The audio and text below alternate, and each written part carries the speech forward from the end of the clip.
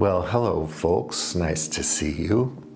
I was trying to make a video over the last week and kept flubbing it. So the first time I went to my view spot because I wanted to show you all what a Sahara dust storm looks like in Portugal. And well, this is gonna suck pretty much because I forgot to bring the mic. And so here, here I go again. But I feel compelled to share this with you, so I'm gonna try a third time, and maybe third time is lucky. We'll see. Anyhow, uh, I was reading Jamie Wheal the other day, and he had this nice little model that he made. Uh, you know, something that consultants like Jamie will do is take old stuff and, and put them together in a new way, a novel way, and uh, hopefully that's helpful in some sense. So this is a triangle. It involves Pascal's wager, Occam's razor, and Bayesian probability uh, theory.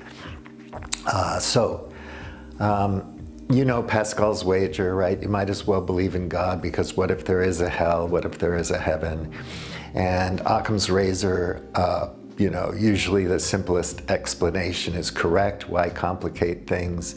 And then Bayesian probabilities, you're looking at um, updating your priors, you know, in light of new information and evidence, you update your worldview or your model or your theory or your understanding of something or another.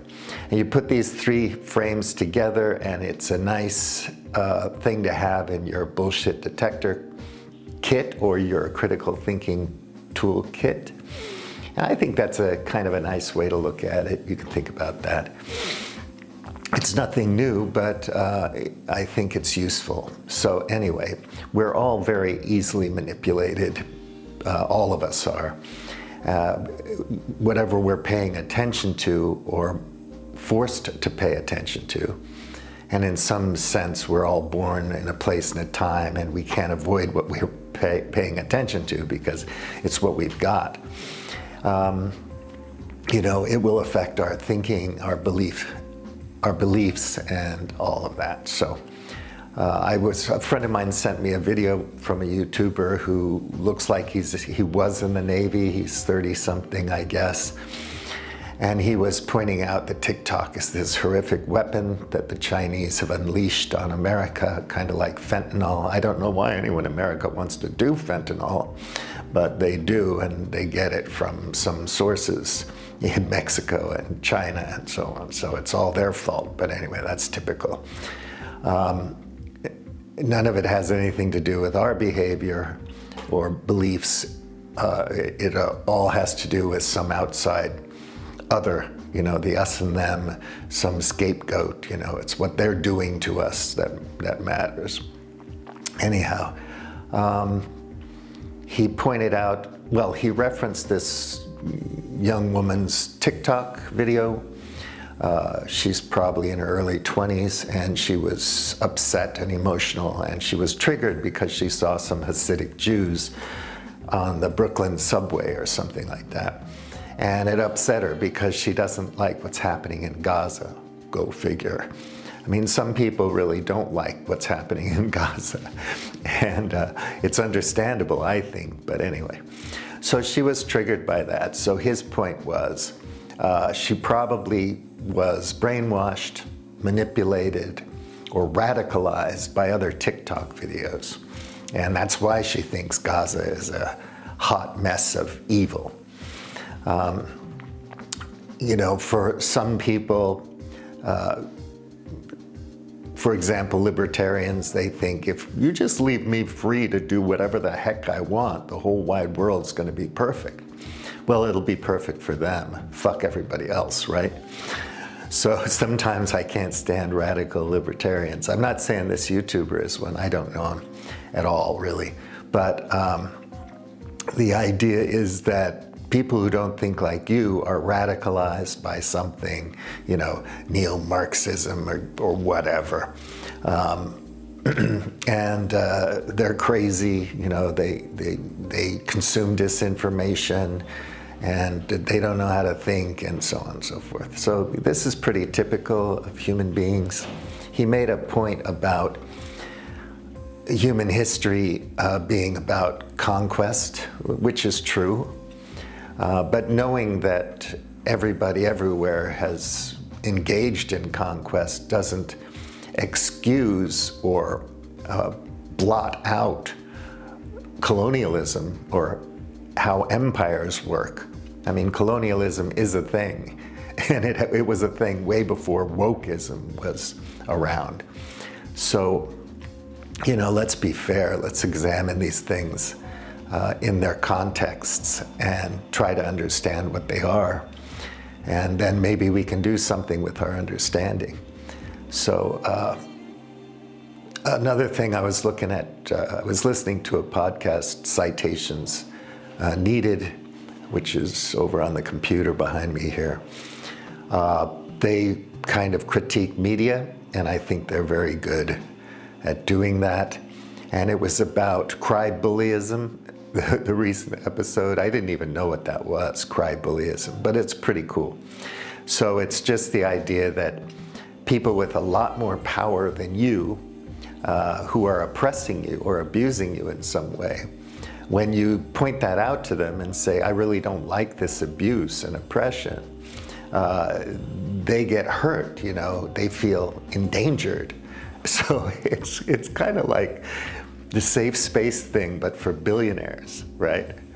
So um, the whole thing is crazy, which is why I want to share with you an article uh, by uh, a guy I follow, uh, Indi.ca. He's a Buddhist Sri Lankan living in Sri Lanka with his Christian wife. He has a couple kids. He obviously spent a lot of time in the States. Um, his thinking is the closest to my thinking in terms of a realpolitik, you know, global worldview. Uh, he uses white empire a lot. I, I would say we could dispense with the white, but it's a good metaphor in, in terms of uh, interrogating European colonialism and things like that, American empire.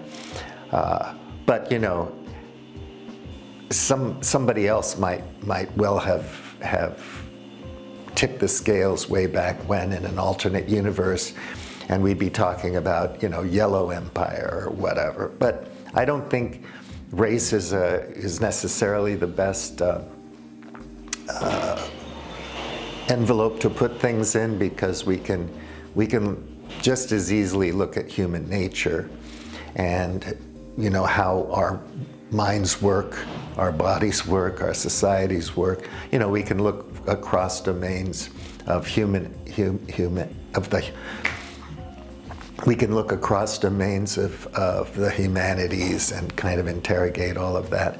But it's okay, you know, if you want to couch it in those terms, I don't care. Um, anyway, he's talking about the conservative agenda for when Trump wins the election. So I'm going to share that article with you. I think he's very insightful. Uh, in a lot of ways, it's not going to make you happy, especially if you're an American or European, to read his point of view, because he's very critical of our project. But there are things to be valued in Western civilization. Uh, obviously, the good and evil part is kind of ubiquitous. Good and evil, you know, they kind of exist, coexist, and we can either uh, try to work towards the better angels or we can. Well, hello, everybody. So here I am at the article I was talking about. And um, so he says, I read Trump's transition plan, so you don't have to, part one. I'm really looking forward to part two, I have to say.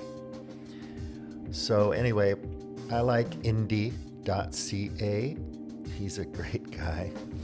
Uh, a lot of people will probably hate him because he's kind of a brutal critic of where we are right now. so, uh, if you're faint of heart or if you're sensitive, it, it might not be your cup of tea. So, that's a trigger warning. Um, so, yeah, so the plan, I downloaded that a while ago. The Heritage Foundation uh, produced it. And it's, you know, the original mandate was for Ronald Reagan in 81. So Republicans love to harken back to Ronald Reagan because he was the best thing since sliced bread. And apparently, he still is. So, anyway, uh, yeah, he talks about the victory for Reagan and rails against the ruling and cultural elite today. But uh, Indi sees it as intra elite competition. So the Republican elites are just the same side of the imperial coin, often going to the same elite universities. So it's so funny that all these anti elitists are actually elitists. so I just find that hilarious. And it's so true. Um, they all go to the same schools, so the next administration must not cede such authority to nonpartisan experts who pursue their own ends while engaging in groupthink insulated from American voters. But that is, of course, talking about those experts, not these experts. So, yeah, it's like the libertarian thing. I want to be free to do what I want to do, and, and you can't be free to do what you want to do because it impinges on my freedom to do what I want to do. So, you can't have government because there'll be rules. But you can have a rules based order because it's my rules. Anyway, so, yeah, my experts over your experts, nobody kind of sees the hypocrisy or the contradictions. They, they just don't get it because everyone loves the people they follow and pay attention to.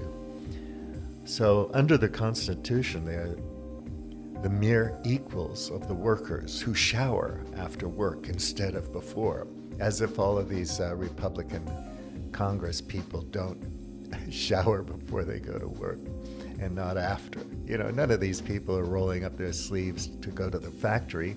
We sent all the factories to Mexico and Vietnam and China a long time ago. So, you know, advocating this is ridiculous. And when you advocate for the oil and fossil fuels industry, you're just advocating for, you know, a, a, an order that's been around for a while that everybody depends on. Um, so it's like, yeah, I mean, Trump and coal, that was hilarious.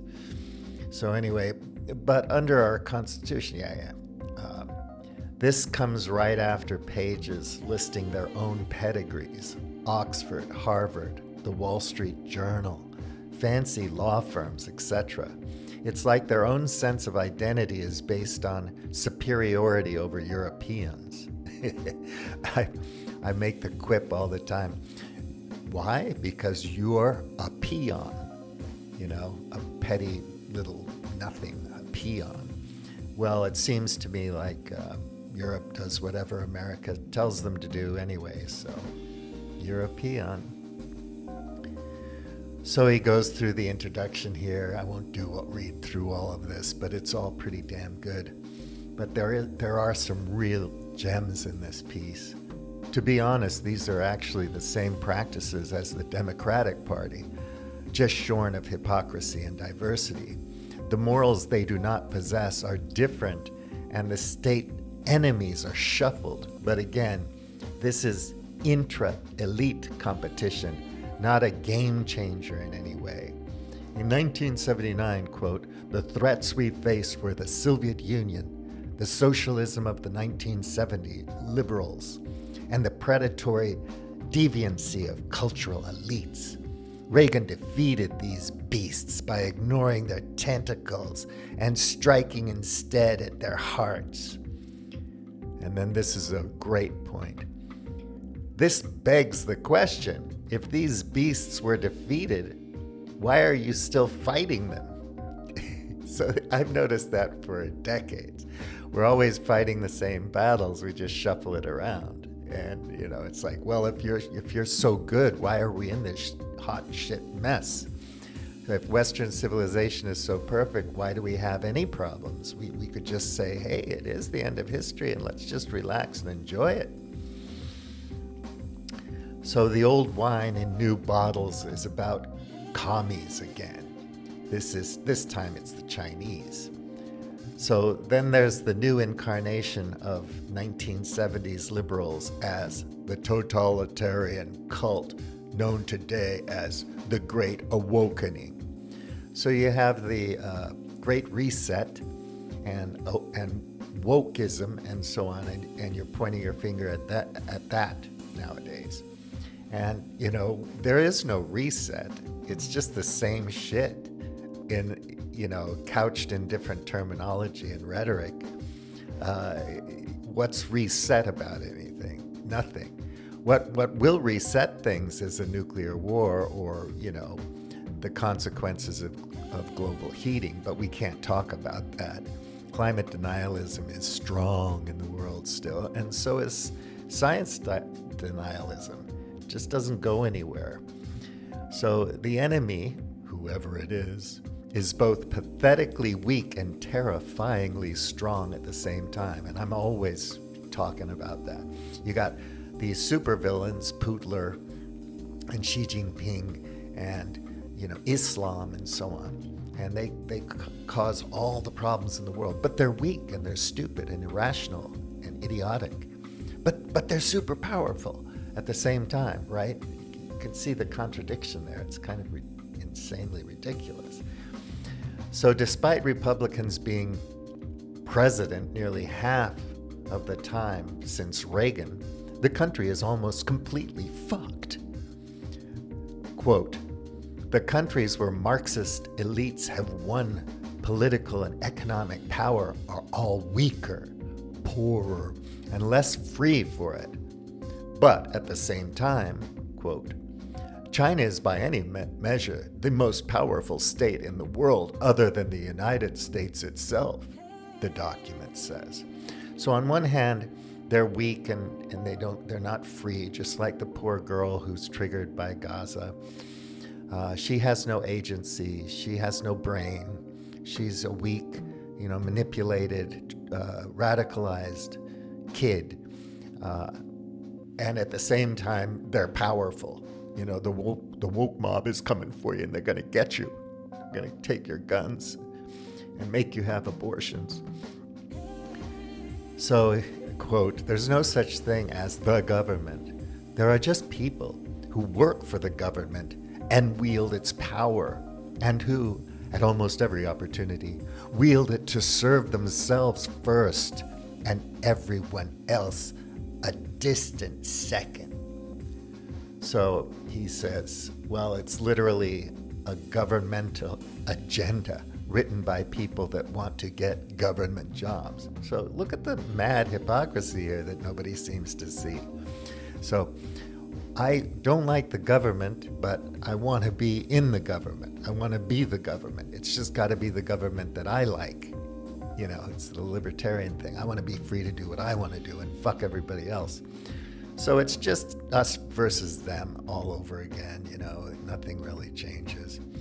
International organizations and agreements that erode our Constitution, rule of law, or popular sovereignty should not be reformed. They should be abandoned. Illegal immigration should be ended, not mitigated. The border sealed, not reprioritized. Economic engagement with China should be ended, not rethought. America's vast reserves of oil natural gas are not an environmental problem, they are the lifeblood of economic growth. Well, a certain kind of economic growth that, that's probably going to get everybody killed. It's like the Venusification of the world but we, we're not going to see it that way. we can't engage the science, it's too much for us.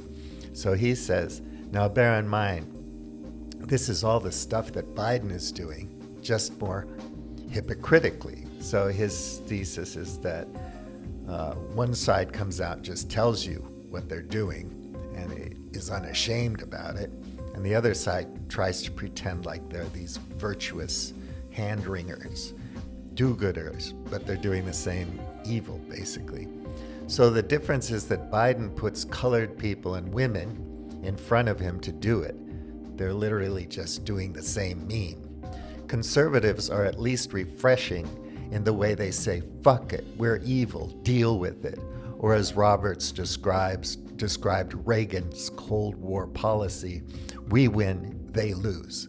Us and them pervades this document constantly. You could say it's the unifying creed. The blame game, right? Roberts says China is a totalitarian enemy of the United States, not a strategic partner or fair competitor. But, like, how? They never talk about how they are like that. They literally can't bomb China because the bomb parts are made in China.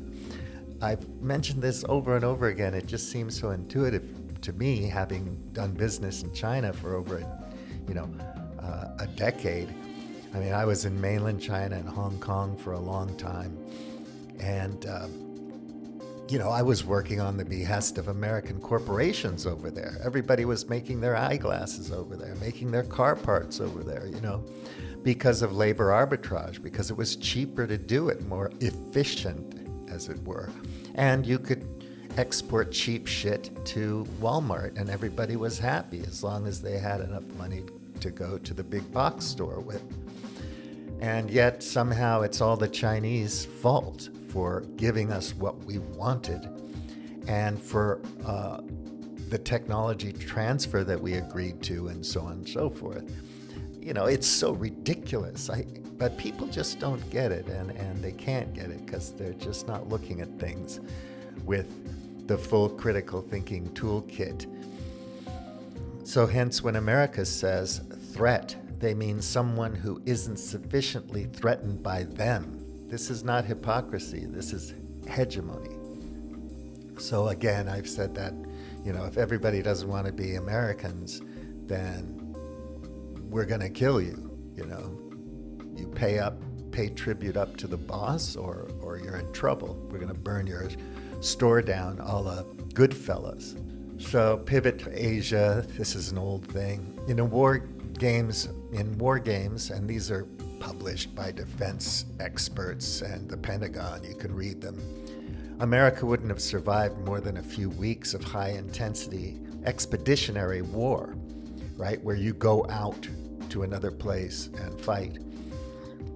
And now they're, uh, they've blown most of their ammo in Ukraine and they're even sending ammo that could be used in Ukraine to Israel so they can bomb Gaza.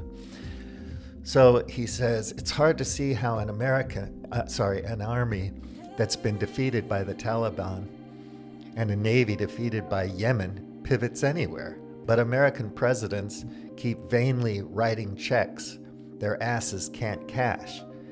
Hence, both elites are in a race, racist race to scapegoat somebody. So that's typical. It's always like that.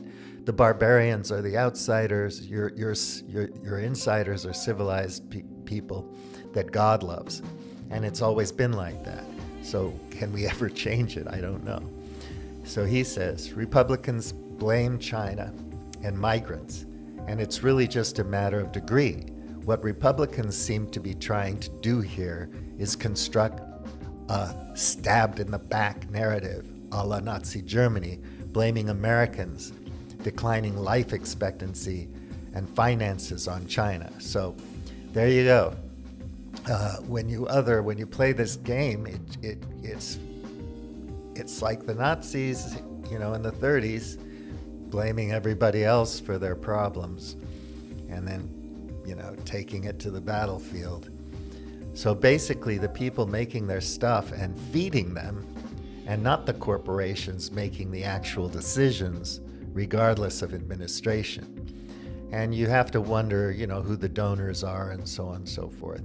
You know, corporations aren't inherently bad, but, you know, uh, they have their interests, and their interests include, you know, their business interests and not anything else. So if if our politicians are working basically for them, they're working for business interests, not for yours, you know, citizens. What is that, you know?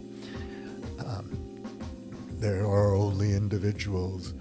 You know, you get rid of the commons, get rid of government, the whole thing, and, and let the corporations take over, or the big fat cat corporate king who manages everything for whose benefit. So the fact that Trump, he says, the fact that Trump and his children had a liberal New York education and that Trump probably had an open account at abortion clinics is irrelevant. It's all a game, and the name of the game is blaming the blame game. So, what to cut? This documentary is deeply thin on actual solutions for actual problems because the deep assumptions is that it's not their problem. It's China's problem. It's migrants' problem. It's those elites' problem. Just hit them hard enough and everybody should be peachy. So, yeah, you don't have anyone to pick the peaches, but if you kill all the pe- peach pickers, you're going to be fine. So, uh, quote, cultural institutions like public libraries and public health agencies gotta go. So, cutting, he says, cutting libraries and public health is like trying to lose weight by cutting out the tomato and lettuce and still having a big, a big double patty of human flesh on a Raytheon bun. Is a way with words. so, a big patty of human flesh on a Raytheon bun especially at late stage rent seeking capitalism. So there's a, you know, you have to look at, at what you mean by capitalism and what phase we're in in this whole project. And now it's the rent seeking that's the big deal.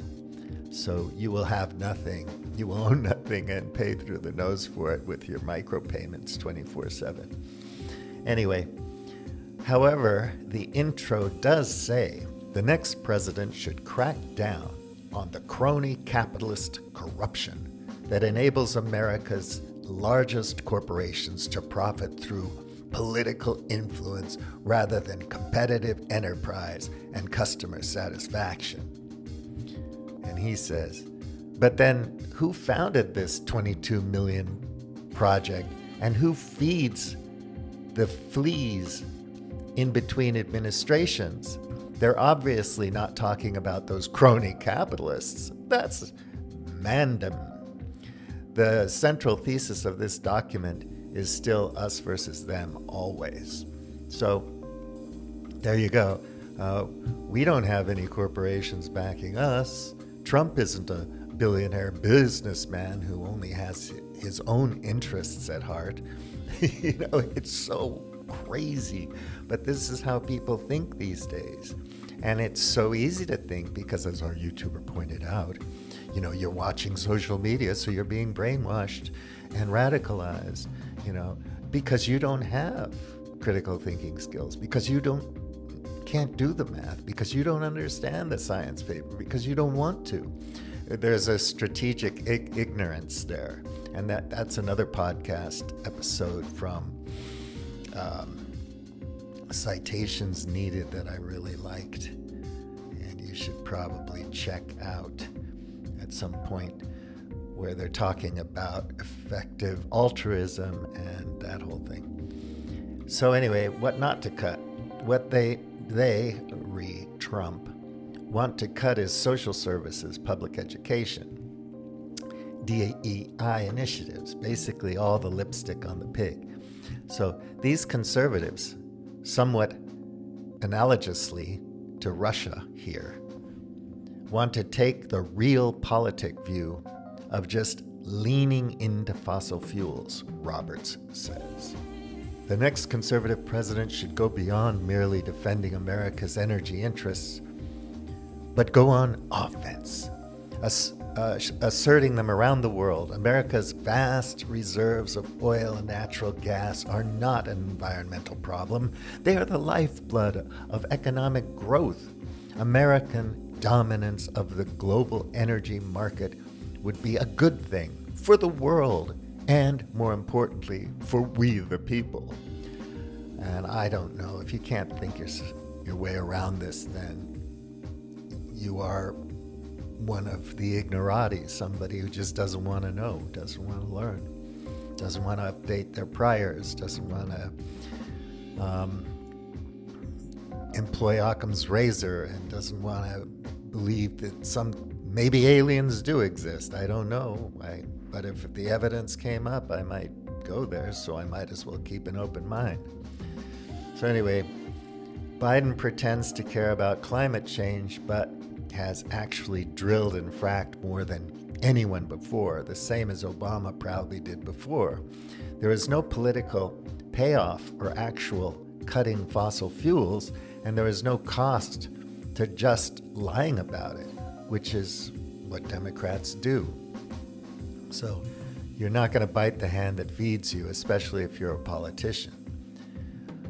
So, anyway, it's a non renewable resource that we're just running out of. He's talking about fossil fuels. Well, it is true. We don't know when we're going to run out, but at some point we will. And the consequences for burning all of it, it, it will be dire, but you don't want to know the science on that. So you can just go watch a movie like Climate, the movie, which is just rehashed bullshit from another movie made after uh, The Convenient Truth was made back, you know, uh, how many years ago now? In 2000, whatever. So, what's the point of reindustrialization this document discusses, right? It's a non renewable resource. Anyway, America simply doesn't have the natural or human resources for another economic boom. Even if they did, the planet would just explode even faster. That's what, what I'm talking about with uh, accelerationism. We just want to, you know, consume more, more, more, more, more uh, as fast as possible and use more and more energy, and somehow miraculously we'll have our replicators uh, in, in the near future, and we'll be able to turn, you know, electrons and neutrons or whatever into cheeseburgers anytime we want them, or something like that, or mine asteroids, or.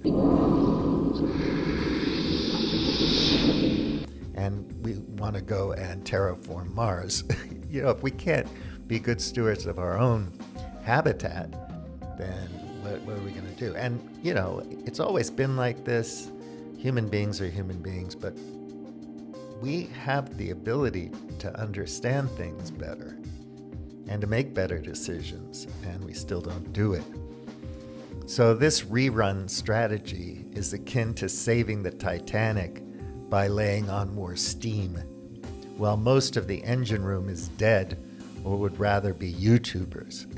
so, oops. Uh, so, yeah, I talk about the bullet train going to a Himalayan sized granite wall, and we're just going faster and faster every nanosecond. We, we can't wait to get there and, and vaporize.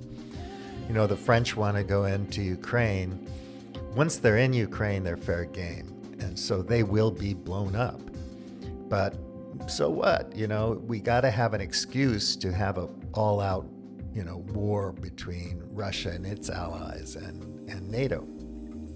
It's just something, for some reason, we want to do, and we think it's going to make the world a better place. I think it's ridiculously absurd, but you know, if you look at things uh, from various points of view, if you read your enemies, then you're uh, considered to be a traitor, right?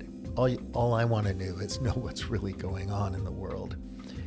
So, uh, Roberts correctly identifies the actual problem of climate collapse, which is philosophical humanism, or what Dr. Tom Murphy calls human supremacy.